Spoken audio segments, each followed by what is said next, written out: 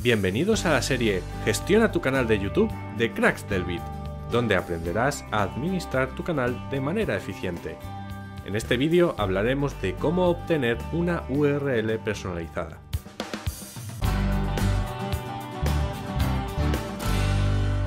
La URL es nuestra dirección web, donde podemos decirle a la gente que nos visite. Así, por ejemplo, la pondremos en nuestro blog o página web, nuestras redes sociales, para darnos a conocer.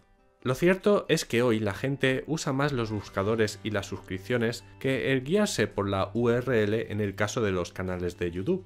Aún así es interesante tener algo personalizado, pues le da un toque más serio y será más fácil de promocionar.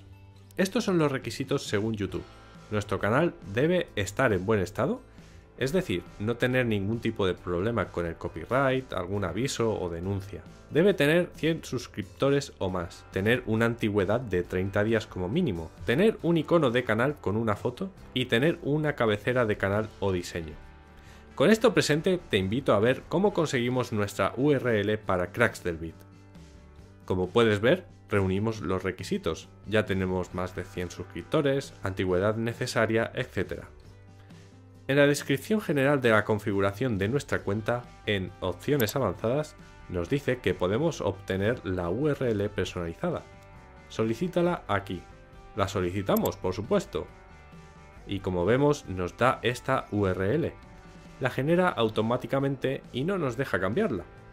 La dirección sería youtube.com barra diagonal c barra cracks del beat, pero también sería válida sin la c a la hora de introducir en el navegador, quedando youtube.com barra diagonal cracks del beat.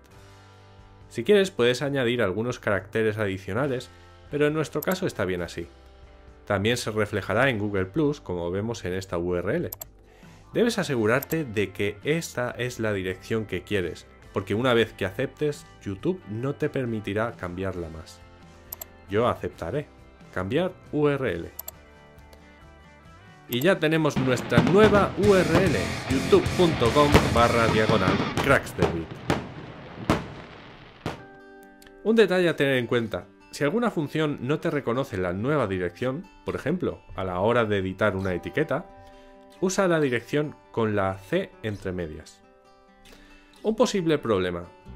Al principio nos ocurría que nos exigía añadir más caracteres a cracks del bit, alegando que ya existía una URL igual, aunque no era así.